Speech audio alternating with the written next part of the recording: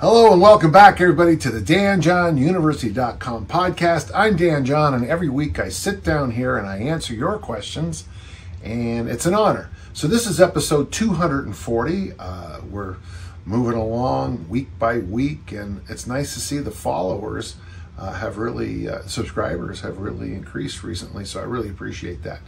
If you have a question, send them to podcast at danjohnuniversity.com. I'll do the best to answer each and every question as they come in. Uh, sometimes uh, I'm not always sure uh, the best answer, but I do my best, okay? Our first question is from Stephen, and Stephen asks a question. I recently purchased the Easy Strength for Fat Loss book, and that's available at uh, danjohnuniversity.com slash bookstore. And after reading it, I had a question. Uh, I've done a poor job in the past of seeing a program to completion. Um, you know, that by itself, Stephen, is a good question. Lots and lots of people starts start lots and lots of programs, and most people don't ever finish them. Uh, it's something I um, I think about a lot, even in my own training. I sometimes I'll get on this little uh, great program, great idea, and then three weeks later, I'm doing the exact same crap I always do. Summer 2023, I got 20 workouts into a half-hearted easy strength for fat loss and then switch gears to the ABC workouts, armor building complex. So thank you so much. Despite feeling a good amount of progress, I am deciding one, to not beat myself up about that, and two, to pick up, dust off, and see this program uh, to completion this time. My question is the scheduling of workouts. Now, the moment I go down this road, uh, gentle listener, you have to understand Stephen's going to ask a question that you can't find research on, you can't find uh, articles on, you can't find, uh, you know, studies done about his question. So that's why sometimes you have to trust your experience, go with what makes sense and is logical, and listen to his question, and you'll see why uh, I like experience as my favorite of all the methods that we have for getting information. And I tell you, there's inductive, deductive, and all kinds of other methods to figure out things. The scientific method, common sense, which is sometimes the least uh, used, uh, eyewitness, which is probably the one I don't trust the most. And then there's this idea called experience. So there's more too, but let's go. You say to train three to five times a week, uh, eight to 13 weeks for 40 workouts. I currently play in a D League hockey team about once a week and do a boxing class, which I love, also once a week. Both are high intensity. I go as hard as I can uh, since I'm nearly 40 and, I'm not in amazing shape. My shape is mostly spherical, which is cracks me up. I am trying to be mindful of recovery while getting my eight hours of sleep and hydrating well, eating like an adult, and all the rest. Really appreciate that. So the first thing you have to think about uh, as when you decide to help someone in a program, you know, what do I know? Well, how many people in the world do we know who want to do easy strength for fat loss, who also box, and also play ice hockey? Well, there's not a lot. So what I'm going to use is my experience with my hockey friends and tell and tell you what they tell me. Do you suggest that someone doing a couple strenuous days of a sport should lean toward the uh, Easy Strength for Fat Loss program three times a week or should I stick with the goal of five times per week? I was thinking to split the difference and do four times a week. So five times, three times, four times, doubling up on my boxing day and having two days of rest recovery uh, since hockey day is the one that he really feels bad about. First off, I'm so glad you put easy strength for fat loss in this kind of collection of ideas. As I, will tell a lot of people, and in fact, I was just on a phone call before I, I got on here for the podcast I work with a professional um, strength coach, a professional uh, sports strength coach that's adopted the Easy Strength protocols, and we were discussing working around games with him. So, what I would suggest is uh, there's I've got two options for you. I like the first one better. After you do your boxing, I would go into the gym and do your easy strength. Now, I know it's different than easy strength for fat loss, but get your boxing in. And then right after, if you can, do probably the most reasonable of the easy strength for fat loss programs that you know. So for me, I always think that two sets of five, uh, You know, you got the three verticals, you got the vertical press, the vertical pull, a, a deadlift variation, ab wheel and suitcase carry. So maybe whatever is the most reasonable for you. For me, that would be two sets of five or three sets of three. In addition, after your hockey game, now I got this from a, a buddy of mine who's a very good coach in the NHL, is he tries to get his athletes to always lift weights after a home hockey game for sure. It's not perfect, obviously, when you're working with professional athletes. You know, you're you're constantly, you know, the old joke about uh, WD-40 and uh, duct tape. You know, if it's supposed to move and it does, good. If it's not supposed to move and it does bad, and then you know the answer is either WD-40 or duct tape. And honestly, when you're coaching at the highest level, sometimes you feel like you know it's it's duct tape or WD-40. Folks, I'm joking. Don't use WD-40 on your body, nor on uh, duct tape. But it is hard to keep athletes together. A lot's going on. Um, so my first thought is this, uh, and it's, it's a good question, uh, Stephen. I would suggest training in your most reasonable number of workouts after the boxing and then after the hockey game. Now that's going to give you, you say you want two full days of recovery. Well, then take the two full days of recovery after the, the hockey games, do the original strength, uh, do the other stuff that you, you know, uh, mobility, flexibility, go for a walk, whatever. So if you can, if you can work out that you can get a, a workout in, say, say you do your hockey on Saturday and your boxing's on Wednesday, if you can sprinkle in another workout or two in the week, that's what I would suggest. I would always suggest, especially if you're doing this, and this is just an idea, that you do that tonic easy strength workout. I usually say it's one set of 10, but you take a really light load and you do, you know, you do uh, your military press, one set of 10. You go to the lat machine or whatever you have to do uh, pull-ups with help, maybe with bands or however you do it. One light set of 10, a light set of your deadlift variation, um, a set of five in the ab wheel, um, a quick suitcase carry, and be done with it. Now, if you're doing the fat loss one, you want to go for the walk. Uh, after the hockey and boxing practice, I don't think you'll need to, though it, it's not a terrible idea. I'm, I'm a big believer that walking helps with recovery. Uh, I think movement helps with recovery. Um, so that, that, that's what I usually tell people. Uh, I like we have to say here. I, I think it's good. So my basic advice, if you can make this work, after your boxing and your hockey, your reasonable favorite easy strength or fat loss workout. And then try to pick one, two, or three more days a week where you do the more traditional one. And I'm edging you to think that two of those workouts should be that extremely light tonic day just to keep your joints feeling good. And when your schedule starts to clear up a little bit, uh, we can we can slide into a more traditional program. Uh, I hope it helps um, with your age and the con- the considerations you have about your body composition.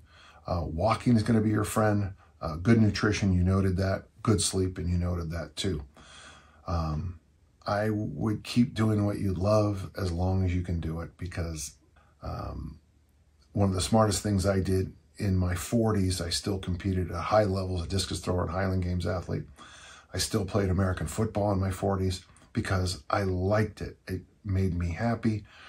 Uh, it it got me doing things like sprints and you know receiver routes and stuff like that, and backpedaling and all these other skills that a lot of 40 year olds wouldn't be doing because being ready for a game is radically different than trying to be ready for remember that thing back at the turn of the century? Oh, i want to be ready for anything. Well that's great but when you're playing in a football game american football game you've got to be ready to backpedal sprint accelerate cut you know get knocked down get back up again knock someone else down you know all those kinds of things and uh, it gives you an extra level of of uh, work capacity that's hard to find anywhere else outside of preparing to play with your friends in a game. So good question. And I hope it's, I hope, I hope I helped. So we got a question from Dan. What a lovely name. I'm 36 years old, 210 pounds, and consider myself fairly advanced with kettlebells, having training uh, for them for 10 years. I have double 16s, 24, 32, a pull dip station, and a TRX system. I am three weeks into a modified Mass Made Simple routine with kettlebells and have a question. So Mass Made Simple is a barbell program that some people adopt and change into uh, all other kinds of things. Uh, I always find it interesting uh, when people tell me that they're doing the program without the complexes and the high rep back squats, which are the absolute foundation of what the program's about. Uh, let's see how this goes. During this program, should the workout be performed in straight sets or could they be performed in a circuit? I'm currently performing the workouts as straight sets, but find my leg days murderous when doing three sets of 20 squats with double 24s. I'm more of a hinge pull guy. So uh, nowhere in my Mass Made Simple is there three sets of 20. Um, you know, I, I, on the Mass Made Simple program, except for workout number 10, I think, I'm pretty sure it's just workout 10, all the workouts end with that really lousy last set of squats. Uh, so what you're doing uh, is fine. I mean, there's nothing wrong with it. Um, but the question is this. Curious your take on this as I feel circuits help me balance muscle load and improve my work capacity. I find I take longer breaks when performing straight sets. Well, if it's going coming to hypertrophy, uh, increasing your lean body mass, uh, bodybuilding, whatever phrase you want to use, um, I have a new book coming out, and uh, I'm really focusing in in this book and in my current work on getting people to do uh, the armor building complex. And somebody always asks in the comments, what is that? Even no matter, I'm about to explain it and someone will still ask in the comments. Uh, maybe not. Um, it's double kettlebells, two cleans, one press, three front squats. I think that is a great mass building program. Two days a week, sometimes one day a week, sometimes. I outline it all in the book. And then I also like high rep uh, double kettlebell presses. What we have here is you, you're doing high rep uh, doubles uh, in the front squat. And I got to tell you, if you're going to do that, I would stick with straight sets. If you're going to do these three sets of 20 with a double 24s, there's nothing wrong with resting between those sets. You know, when I was young and gorgeous, when I was young, uh, we used to do those high rep back squat workouts. And I'm not kidding you when I say I rested 20 to 30 minutes between sets. And that one workout I always brag about, you know, June of 2000, June of 1979. Um, you know, I did 315 for 30 squats deep, 275 for 30 squats really deep, and 225 for 30 squats deep. And I only had a spotter on the 315. Uh, and I remember holding on to uh, the Pacifica Barbell Club's uh, hide incline bench press for dear life. And I was also worried about, you know, being able to drive home uh, on my motorcycle when you're doing three sets of 20, now remember, I was doing three sets of 30, uh, it's going to take you a while to recover. Uh, I feel that if you're going to use the squat as a mass building exercise, you got to respect high rep, high rep squats as a mass building exercise. You got to respect the time. It is the time of you going up and down is the most important part of the workout. If it takes you 15 minutes to recover from each one of those sets, that's what it takes because the the inroads that these workouts put on your your recovery ability is massive. And I'm not just talking about the that that day's workout where you're doing a 15 minute re, uh, rest period.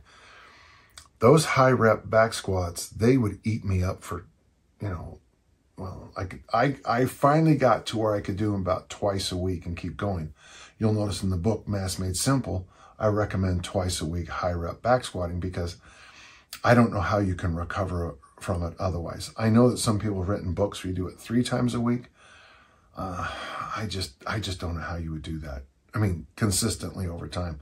Um, you know, the first few weeks I was doing the high rep back squats, I was probably at three, but later I just shifted to uh, Tuesdays and Fridays. And so on Tuesday often was the better day for me because I had Saturday, Sunday, Monday to recover.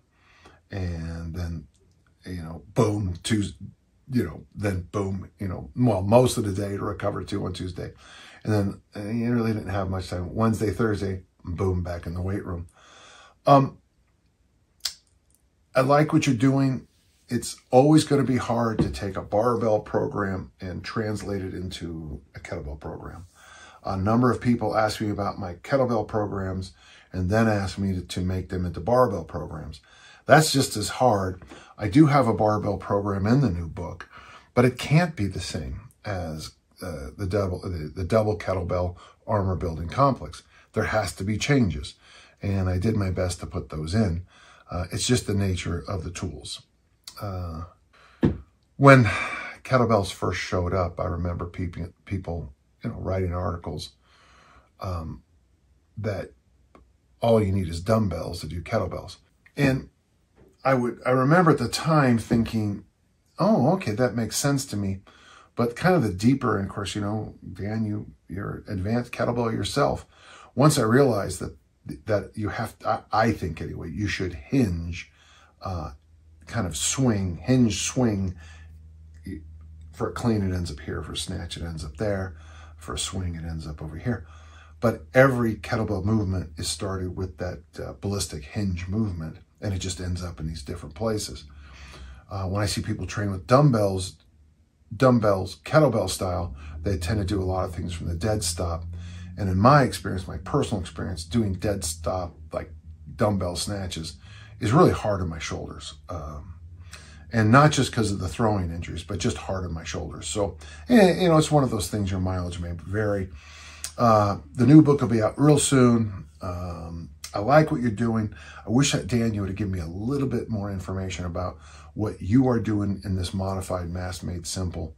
Because when I see the word mass made simple, my mind goes down to um, that book right somewhere over there. Uh, you're talking about a variation. So I think, you know, I think it's a good idea. I prefer on the hard high rep squats, straight sets if you want to do complexes for the other stuff, circuit training for the other stuff, I'm fine. But I think for the double kettlebell front squats, you just want to do the set, recover, do the set, recover. And if it's three, do the set recover. The other stuff you could mix and match a little bit more, either in complexes or in circuit training. Uh, but uh, squats, give, give, give them some rest, okay? Uh, great question. Great question. I really enjoyed it. Uh, Michael has a question, and I like this question from Michael because it's a nice follow up on some of the information. Uh, it's a follow up on something I learned from Bryan Mann, who I think is really a good uh, strength coach. Uh, he's he's not only a guy, a gym lifter, uh, power lifter, but he's also somebody with some experience. He's got the academic background, but he also has like the hands on experience background. When I and I always like that when I see both. You often talk about the DeLorme protocol in your podcasts and writing. Uh, Captain Dr. Thomas DeLorme, who basically gives us progressive resistance exercise and the concept that you and I both think of in sets and reps. You also mentioned Bryan Mann's study and his protocol for adjusting weights based on how many reps you get in the third set, but seem to suggest this for setting the weight for your next workout. Yeah, okay, so it's a much more, Sometimes you have to write a book or an article. You, you can't give the nuance parts. And maybe Michael will be able to get there right now with the nuances. In this article by Brian Mann, uh, he suggests that you do a fourth set with the adjusted weight in the same workout. Uh, do you have an opinion on adding the four set to DeLorme protocol? Have you and your athletes ever done it this way? Would you see any advantages or pitfalls of doing two max rep sets rather than just one. So the so if you go to the workout generator over there at Dan John University, we use the DeLorme protocol a lot. Um, in our standard training, you know, we'd have you do three sets of eight for two weeks, three sets of 10 for two weeks, three sets of 12 for two weeks. And really, for the general mass of humanity, you know, you do after that three sets of 12 week, you, you subtly shift the exercise you know, the whole same but different idea. You go from, if you're doing kettlebells, double kettlebell presses to you know, maybe seesaw presses. barbells, you go from, you know, bench press to military to incliner. What Bryan did for me is he gave us a range of numbers to work with. And so when I first used his numbers, this is what I did, and I, and I like it. Very quickly, all of you are going to find out an important thing is you just can't keep adding load. It just, it ceilings out. Now, of course, then you, okay, once, if you're doing three sets of eight, there's going to be a load where you just can't keep improving reps on that third set. Well, then you go back to something like easy strength or another strength program.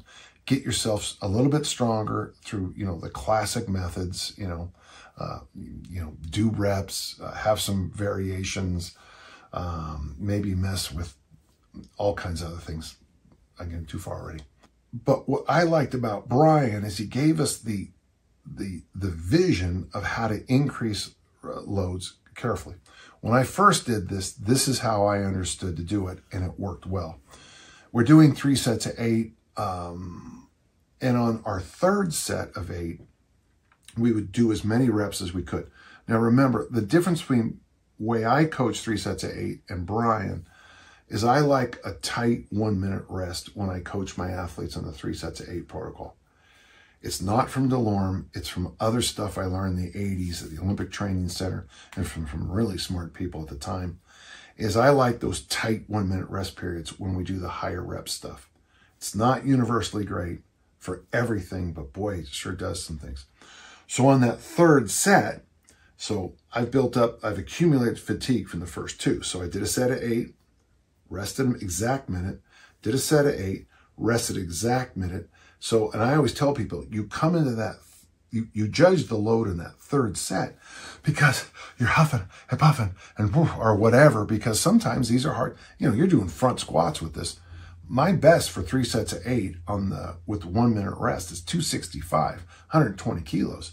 You know, by the time I got to the third set, I, I was still breathing hard from the first set. I didn't, I mean, I don't recover like people do online. I, it takes me a little bit longer. So on that third set, we would do as many reps as we can. Now, if you do, we'll just inflate the numbers, okay, just to blow up. I mean, if you do 16 to 20 reps on that last set, well, clearly the weight's too low, too low for you, and you got to make a significant jump next time. If the weights are like, I don't know, in the area of like 11 to 13, 14, you know, you're probably strong enough to go up, um, but you know, you're, you're you know, make sure those are good reps and quality.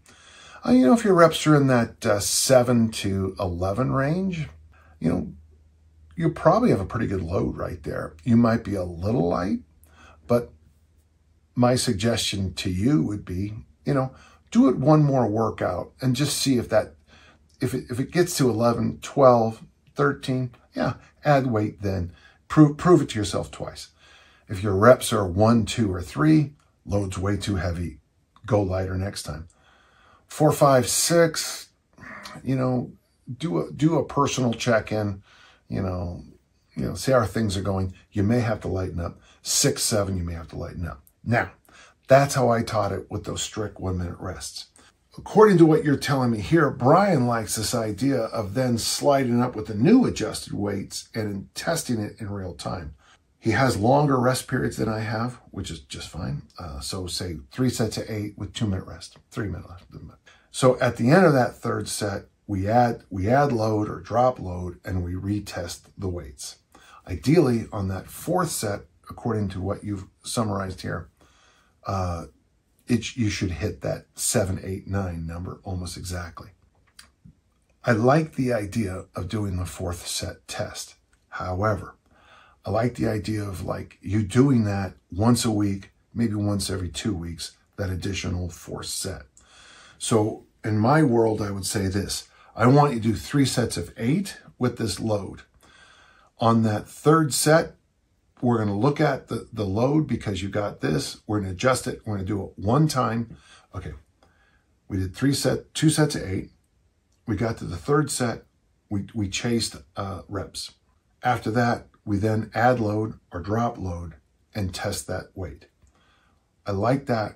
If you're a relative beginner, three sets of eight as written is just fine.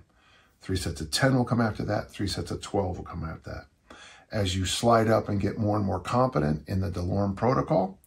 I like the idea of maybe once a week, let's just say Saturday, just to save my brain all the extra work, you do four sets of eight, and the fourth set is always that adjusted attempt.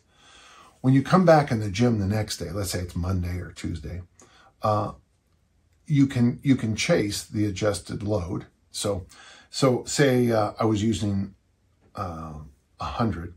When I come in on that next workout Monday, um, I was using a hundred for my three sets of eight. We adjusted the load because I got um, 14 reps to 110.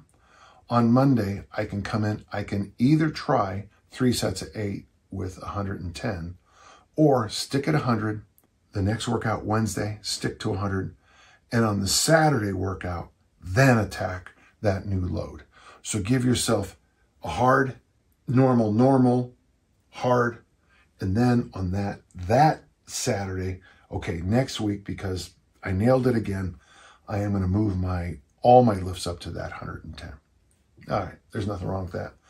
That's going to work a while and then it won't. And then you're going to have to move that test day, that Saturday, to every other Saturday because you're just, you know, once you start sneaking up on that, uh, on that, uh, I hate to call it a barrier, but once you start sneaking up on that really good load, that's where you're going to be.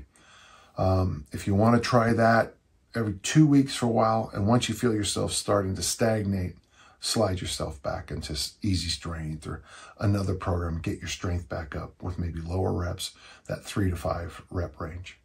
Um, I like it. Uh, I like the idea of adding that fourth set, but I think you have to be really uh, judicious about it. You have to take your time, kind of fold your arms, because once you start, once you start chasing, um, so you've increased a set and you've increased reps and you've increased load. That's triple progression. And I think it's, I personally think it's hard to increase three things at once. So don't be afraid to try that day. Go back to what you were doing, one, two workouts, try that new load, make the decision, and then uh, then go up and load. I hope the lesson that I'm trying to get across is uh, is is is clear. The idea that when you do progressive resistance exercise, be sure you progress. You take your time going from step to step to step. Um, I don't trust these programs that try to make you do everything all at once, everywhere. I think it's tough. I think it's not repeatable, and it's real hard to figure out what happened when things go wrong. I enjoyed that question, uh, and thanks, Michael, for uh, for really helping me understand it even better with your question. Thank you. We have a question from Greg. I like having a solid morning routine, and as do I. Recently, I've decided to tack on a bit of body weight exercises uh, to the end of my routine before I start my day. My goal isn't really to make a ton of progress, but more philosophically to start every day making sure I can move my own body through space in various ways. I think that's awesome. Okay. On the non-workout days, I do one easy set each of body weight squats, push-ups, and pull-ups with a one minute plank after each. Great. What do you think is a good balance ratio of reps in these three movements? For each pull-up, how many push-ups and squats should I be able to do? Would these ratios change if I were programming them for progress? Yeah, um, that's actually that's actually the million dollar issue right there. In my world, I think that the push, the pull, and the squat should all be the exact same numbers. But the bells ring because doing push-ups and you can do a lot of push-ups uh, Barry Mamini and I in high school uh, for our president's test, uh, we we found out, I, I, can't remember how, but somebody from the period before us did 100, of course. So, you know, Barry and I came into the thing just going to try to smash whatever that person did. Don't remember who did the most. And since I don't remember, it probably wasn't me. Uh, but it is a, you can do a lot of push-ups and you can do a lot of uh, body weight squats, but most people can't do a lot of pull-ups. So the pull-up is going to be, you're, you're saying their body weight, but push-ups and squats are different than pull-ups. They just are. I would try to get you to think something along these lines. I would try to keep your push-ups and your squats almost the exact same number. Now, a lot of people can easily crank out a lot more body weight squats than they can push-ups. Uh, you, you do pay a higher, higher price when you do a lot of push-ups. You know, you get that real weird uh, uh, soreness right through here. Um, for your pull-ups, I don't know, let's, let's just make up a number and have you test it. Uh, for every push-up or squat, maybe a pull-up. Uh, I think that's uh, reasonable. If it's if you're a really good pull-upper, maybe you could do a one five. So, but if you think about it this way, if you decide to do 50 squats and 50 push-ups, you know, depending on which one you want to use, that's either five or 10 pull-ups. Uh, what you might want to do, and anybody listening to try this idea, is try to maybe put an earlier low end, a bumper right there on push-ups and squats. So it's going to be 50-50. And then just see what the pull-up number is. The key I want you to think about, Greg, and I like this question, is um, with your pull-ups, if, if you're banging away on your pull-ups every day and you're going to failure on them, you're gonna your elbows are gonna you, you didn't tell us your age, but your elbows are gonna be barking at you very loudly, very quickly. Um, so try to find a repeatable number of pull-ups you can do that you just pop up and you get them in, you shake out, you feel good, you have plenty of uh, you have plenty of reps left in the pull-up. For example, if you get yourself in a situation where 50 push-ups uh, 50 squats and 25 pull-ups all feel about the same. Well, uh, well, you're a better man than I, I'll tell you that. And I, and I think that's what you want to do. I would probably put a ceiling early on the number of push-ups and squats because as a lot of people will tell you, you can do a lot of push-ups and a lot of body weight squats. You can really do that. Um, in high school, we used to get the deck of cards and you'd flip it over and was it, I don't remember, but uh, numbered cards, you do two, you know, a two was two, three was three, a four was four. Um, aces, I think were 11, and then all face cards were 10. So if you got a run uh, of uh, face cards in a row, you might have knocked out 50 while your partner, you know, only did, you know, 20 or something like that. You can do a lot of push-ups. You can do a lot of body weight squats, but you can't do a lot of pull-ups for most people. So I hope that helps. It's, it's a very good question, okay?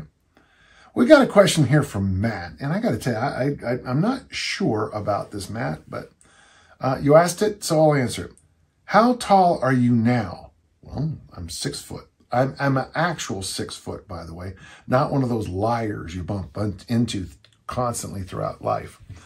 Um, I remember one time they had me in a in a thing at, when I was at Utah State and had me listed at uh, 6'3", 240 pounds with a 4.0. And was interesting as I was six foot uh, to 18 and with a 4.0. And it was just kind of funny. Um, so I have my height hasn't changed ever. And he says this, how tall did you used to be? I used to be six foot. Now, when I was younger, I was smaller. And then uh, as I grew up, I got taller. Uh, I've noticed my grandchildren do the same thing, and so do my daughters. I, in fact, as I, I don't don't remember it, but I started out really small, and then I got much much bigger. Um, my growth spurt was my biggest growth spurt. Well, I had a big one in seventh grade, and then uh, my sophomore year, and then the biggest change in my life came uh, when I first started training at the Pacifica Barbell Club and I put on 40 pounds in four months. It was awesome. Um, it was, you know, just eating a lot of food and doing so many front squats. Um, he follows up, and do you feel any activities or injuries have contributed to a loss of height for you? Uh, since I haven't lost any height, I would say I haven't had any issues with that. Then he asks an interesting question. How old do you feel both mentally and physically? Um, just did a major uh, physical uh, with my doctor. Um, there, people are always shocked. Uh, I, as you know, I'm 67. Uh, I'm very strong. I'm fairly lean. My blood profiles are outstanding. Um, Uh, there was a problem about. I told the story before a couple of years ago where there was a mistake on my cholesterol readings. The machine was out of what I, there was a problem with the machine, and it came back that you know my my cholesterol numbers had shot up, and so Dr. Brunetti sent me to uh, a cardiac uh, care guy who was wonderful, God, great, and they put me on a stress test, and this stress test sucks. It really does, you know. I mean, I the hardest thing for me, you can't drink coffee for two days, and then they shove this thing on your neck like this, this horse collar, and then they they're going to put you through the uh, the MRI machine, and just before they put you in, they inject you right here with a needle. And well, I don't know what the chemical is, but it makes you really anxious. It makes you feel you're like you're caught in an elevator and you have to fight somebody. It, it it's all that at once. And just before I went in, the nice uh, the nice guy doing the thing, uh, the technician leans in and goes, he says, uh, "Sorry, uh, Mr. John, uh, what are you here for?" I go, uh, "They think there might be something wrong with my heart." And he goes, "Okay." I go, "I go, why?" He goes, "Well, your resting heart rate is 52." And, you know, usually people's heart rates go, I go, my heart rate is going up. And so that was a good sign. So I would say physically, you know, the old joke, you know, I have the body of an 18 year old uh, stuffed in my car. Terrible joke. I'm a horrible person. Uh, mentally, I'm in a good place. Um, it's a harder thing to measure. Um, I I have a great social life. I play on a trivia team. I dance every Thursday night. I travel around the world. I read uh, two, three, four books a week. Uh, I think pretty good on both ends. But uh, thank you. It's a it's a different kind of question, but thank you. Okay, we got a question from Sean. And Sean, I think I know uh, from the old Dragon Door forum. As someone with an expansive background in strength and conditioning for both Q2, that's my term for collision sports and collision athletes, and Q4, which is the rare ones, uh, one quality athlete, 100 meter runners or um, Olympic lifters or something like that. And in coaching American football, how does that change the lens of how you perceive sports as a fan, either watching in person or on TV. What insight does your experience provide to you as a sports fan when watching these sports, either in person or TV? I was specifically interested in your answer regarding American college football and or college basketball. I don't watch college basketball. I don't, yeah, I guess I do during March Madness because it's kind of fun. But would be interested to hear your thoughts on any other sport you enjoy watching. So the longer you coach, the more and more people like to sit with you at games. Uh, my buddy Mike just said the other day, um, this year I watched the Super Bowl at my daughter's house, but usually I watch it with Mike. And he goes, I missed you this year. And I go, really? Why? He goes, because you know football. And it's nice to be with somebody who knows football watching a game. Um, I I tend to be much less of a, of a fanatic. Uh, fan is short for fanatic. I don't. Uh, I, I don't have necessarily real highs or real lows when I'm uh, cheering for a team. Sometimes I will, uh, but that's usually um, it's usually Schadenfreude. Um, this year, uh, University of Colorado, Colorado came up here to play at University of Utah, and uh, University of Utah, because of the injuries, had a really fine quarterback. He went to the College of San Mateo, but he was a fifth string quarter. He was Utah's fifth string quarterback and of course, all the media attention was on the coach on the Colorado team. You know, everyone's saying he's the greatest coach of all time. And Utah, with a fifth string quarterback, shut them down. And the only reason uh, Colorado was even in the game is because, you know, they had they had one or two really superior athletes, and Utah was so injured that they were struggling at defensive back. So, so I will get some Schadenfreude sometimes when I think uh, someone uh, gets a lot of attention that they don't deserve. Um, and I apologize for that because that's a weakness. But yeah, I like the game. I tend to I tend to sit a little bit more like this, you know. You know, I, I uh, sometimes I'll be watching a game and I'll say something like, "I that that that's this makes no sense to me," And then someone say, what do you mean? I'll, I'll explain the thing.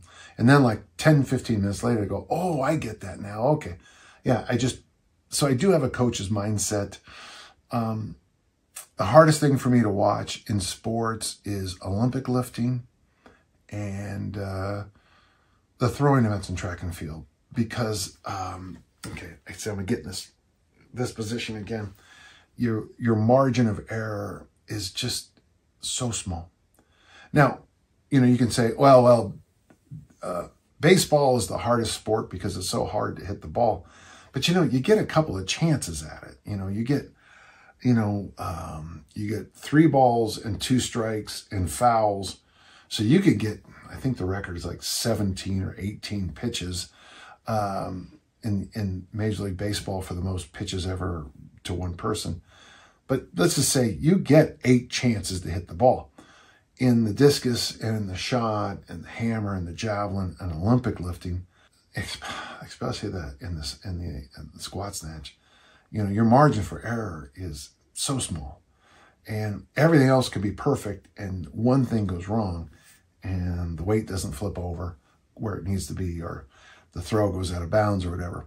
So for me, um, when you see me at a track meet, even if even if I don't even know the thrower, I'll tend to get a little uh, like thrower empathy that I start to, oh no, oh no, you know, or, yeah, or whatever. Um, yeah, I, I, I don't really comment much, on basketball. I don't. The modern game is just so different than I know. Uh, with, and I'm a big fan of the Moneyball stuff. Big fan of it. But you know, it's it's dunk and three point shot, dunk three point shot, and and I and I appreciate it. It's a it's a far different game um, that I that I know anything about.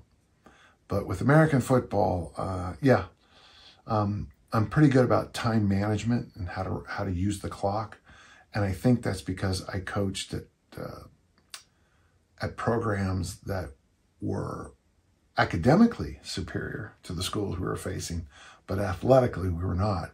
So if you can get if you can really fully understand American football time management, uh, you can uh, kind of edge yourself into a better chance to win. Um, one of my mentors, I don't talk about him as much, uh, the late, great uh, Rick Bojack. I remember him one time after church. Uh, we used to go to St. Joseph the Worker together. And I just, I just asked him a question. Uh, and he said, oh yeah, I'll yell at my quarterbacks if they break the huddle too quickly because the offense he run was called the, the veer. And he, and he would always say to me, nothing stops the veer. So his, his goal for the first half of the game was to make that first half, half happen very quickly. So he'd get mad if his running backs ran out of bounds and stopped the clock for any reason. He wanted that first half to be his, he told me one time his perfect game was this. Uh, the final score would be 21 to nothing, and I would have my quarterback take a knee before he goes into the end zone.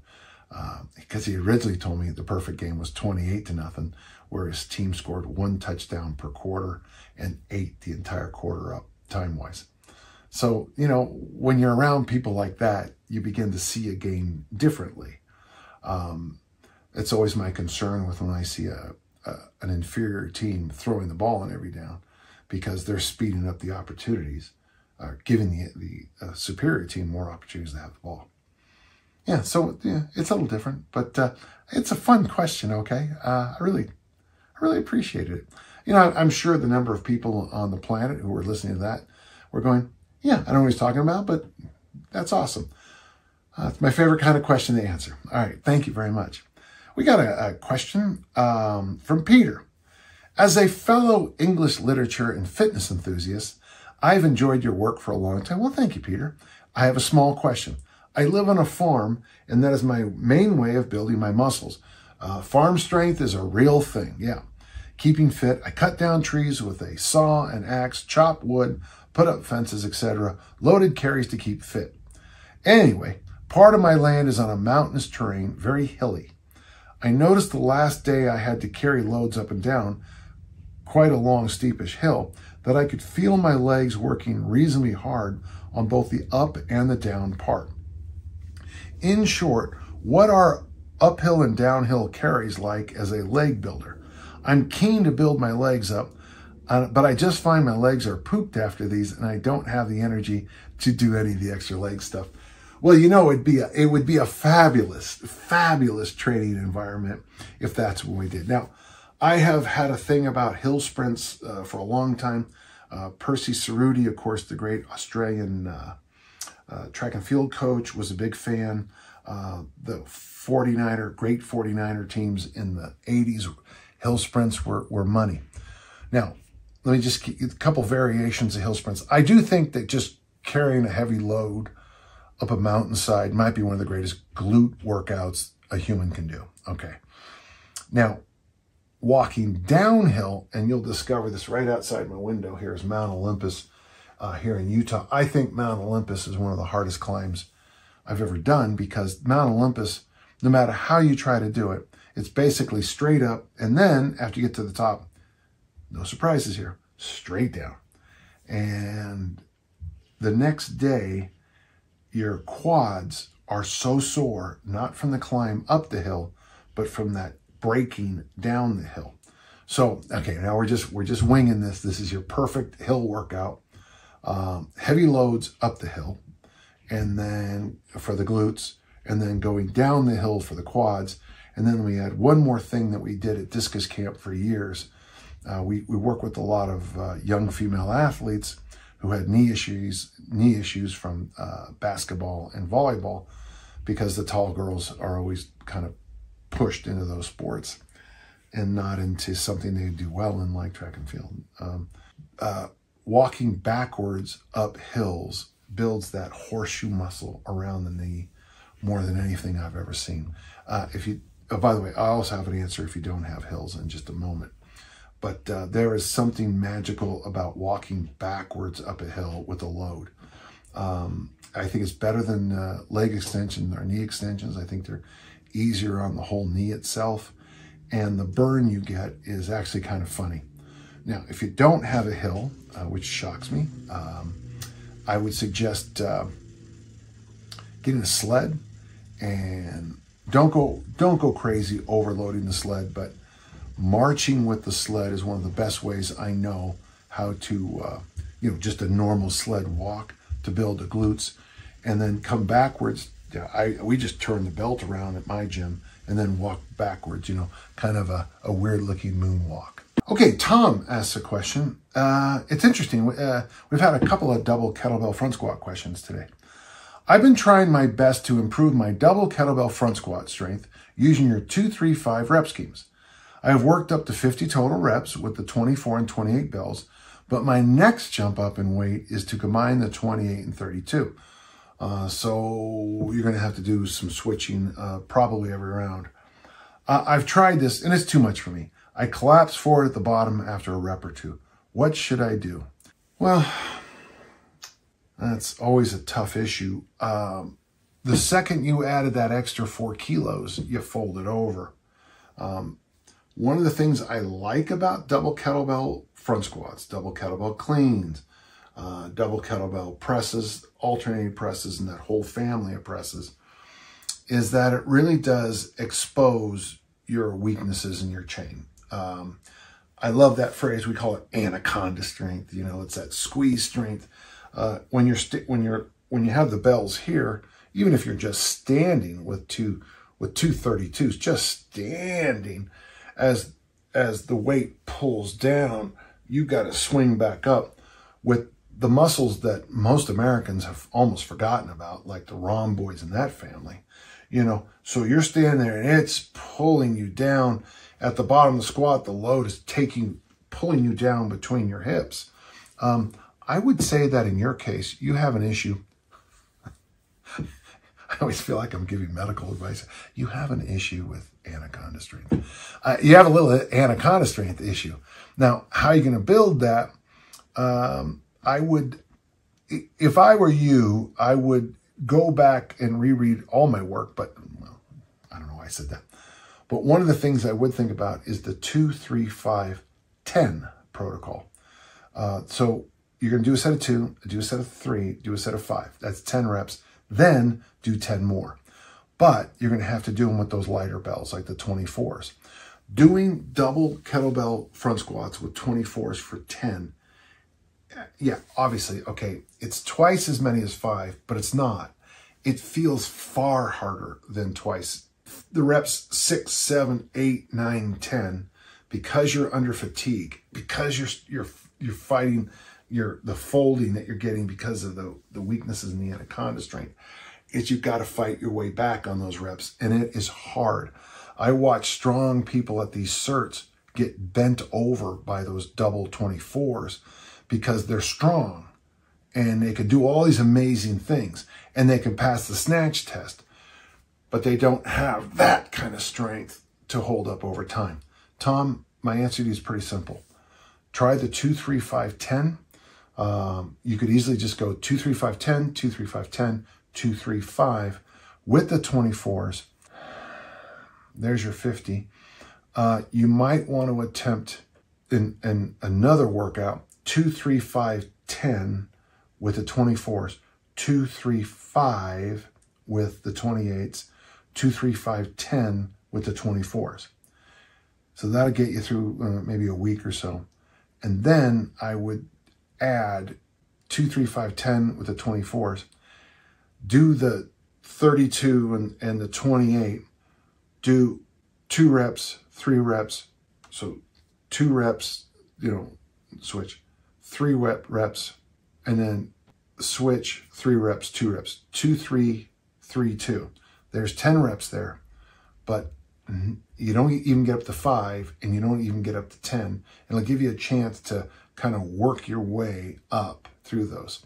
So, and the reason I'm saying two, three, three, two is so that when you switch bells, uh, you'll get the same reps on both sides. Um, I'd like to know how this goes. I think it's, I think it's, I think it's a lot more common than I think. Um, it's a lot more common than I think. That's interesting. But I think that a lot of people uh, get stuck when they add load because they get exposed where those weaknesses have been. Okay, good question. Thank you. Ross uh, finishes up with a good question. My question relates to bus bench versus park bench training. So in my world, we use the word bus bench when we're talking about a workout, um, it's got a clear start, clear finish. Um, you're expected to be able to do something at the end of the time. Uh, if it doesn't work, you should be able to complain to somebody about it. And park bench training is when you kind of show up and you get the workouts in, you just show up and keep doing them. Uh, in my humble opinion, I think park bench workouts are far better than bus bench workouts for most of us most of the time. You recommend mostly park bench training, oh yeah, with the bus bench mingled in maybe twice a year for the average non-athlete in good health. My question pertains to the rite of passage as discussed in Enter the Kettlebell by Pavel and also the program discussed in The Return of the Kettlebell. Both programs have specific strength goals, goals as the minimum program requirement, but both talk about potentially taking a really long time to achieve. Would sticking with the rite of passage protocol until I can press a bell half my body weight be detrimental, de detrimental in the way sticking with a bus bench program too long could be? Or is the programming, which is mostly volume based and waving loads, be considered closer to park bench programs? Additionally, is it okay to have a specific strength goal with park bench training? Well, okay, so let's go to that first question first um, that last question first. I discovered in my life that unless there's three officials, uh, a crowd, a weigh-in, singlets, cards, uh, entry fees, it's not worth my time to chase maxes. Okay, I like to only max in competition. And the reason is, is because if you have the park bench mentality like I do, um, you want to always have enough in reserve, mentally reserved and physical reserve, that if the competition demands it, I can add more weight and have a run at it. So I think you can have a specific strength goal with park bench training, but you just have to kind of remember that, you know, not every day is perfect. Not every situation is perfect. You just have to have with it a, a, a little bit of, uh, you know, you know, Cervantes, he didn't say it in Don Quixote, he said it in another work, but it's, it's the road, not the inn. So the thing about park bench mentality is you got to you got to fall in love with the road. You got to fall in love with the process. And when you do, you you stop focusing on I got to do this, and you start focusing on yeah, that's good. I feel good about doing it.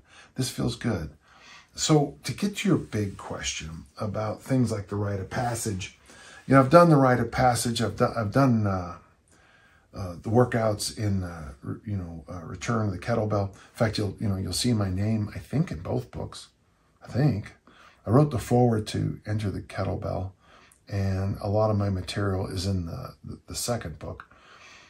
Um, one thing I think a lot of people missed, Ross, and it still bothers me, and doesn't keep me up at night, but bothers me. Before you moved on to the next, the return of the kettlebell program, that double kettlebell, Pavel expected you to be able to pass the Secret Service snatch test, which is 24 kilo bell, 200 reps in 10 minutes, and you should be able to press rather easily the uh, the 106 or the Beast, the, the 106 pound, 48 kilo bell called the Beast.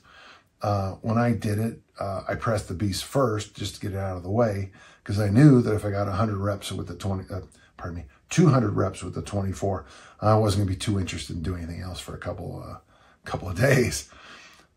That was a standard he put in there. Now, can you get those goals by just doing the rite of passage? Well, that's what I did. Uh, I was, um, this is a while ago, and eh, not terribly long time ago, but a while ago. And I was getting ready for the RKC in San Jose, and then I was an assistant at the UCLA one and then I was, and then I went up to, I think, Minnesota next for another one. And I was using the rite of passage as a means for me to have my hands on kettlebells three plus times a week and have a program that would support passing the snatch test, being able to demonstrate all the moves and, you know, keep myself in reasonable shape. So the rite of passage can be used in that style like I did, where you come in, if you feel great, uh, and don't forget, I tried to do the rite of passage with the 36. And I got to tell you, I, I, you know, Mike Brown still makes fun of me about trying to do that. Um, but my thinking on doing the 36 was since I had already gotten myself to, to, to master all that other stuff. by the way, when I did the rite of passage, it was always with the 28. That's the only thing I did the rite of passage with. But by sliding to the 36, my thought was, let's see what can happen if I just do clean and press, clean and press. Um, the problem was, uh, it's really hard with the 36 to get those ladders of one, two, three, four, five in.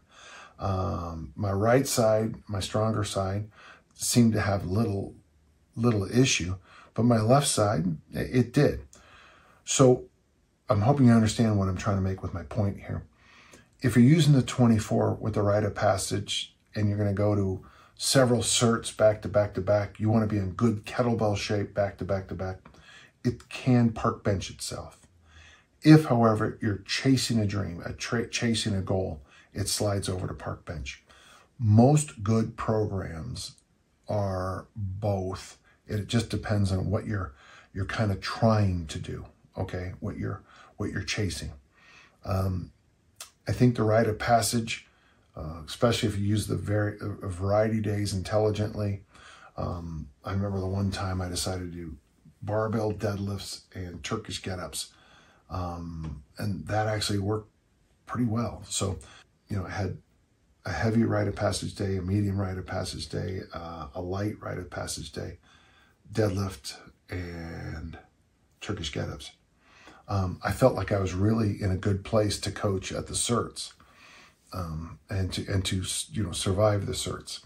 So when when I did that, I think that was probably the best way for me to stay in kind of teaching conditioning. Okay, teaching teaching can be really hard, folks. It it can be to be on for three straight days in the sun, getting burned up with you know especially the way things used to be. Our dinners wouldn't even start until 10 o'clock at night.